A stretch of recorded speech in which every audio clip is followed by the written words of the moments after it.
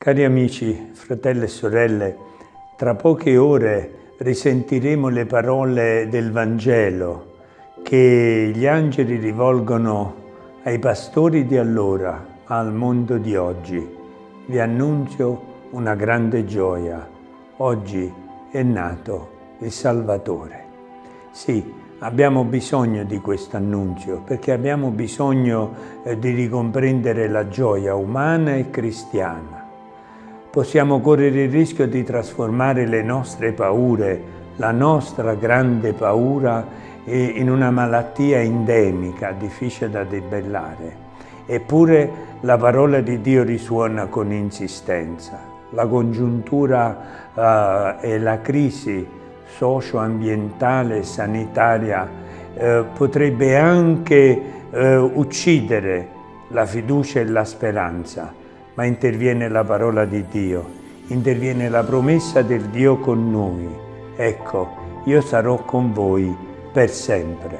La gioia cristiana non è gioia di mh, mm, distrazione, non, non è dissipazione. La gioia cristiana coincide in una rinnovata relazione con Dio, con i fratelli, con noi stessi.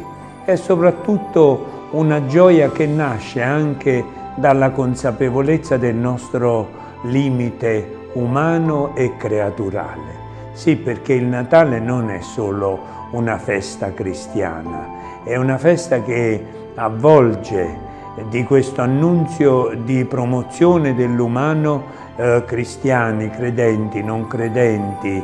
Nel Natale c'è la ricomposizione di tutti i conflitti, di tutti i dualismi, e soprattutto al centro c'è l'annuncio di un Dio che eleva l'uomo alla dignità divina. Ecco la ragione della nostra gioia, una ricomprensione di noi stessi, un abbraccio a quanti vivono nella sofferenza e nel dolore, uno sguardo lungimirante verso i nostri giovani, i nostri ragazzi, verso le nostre famiglie.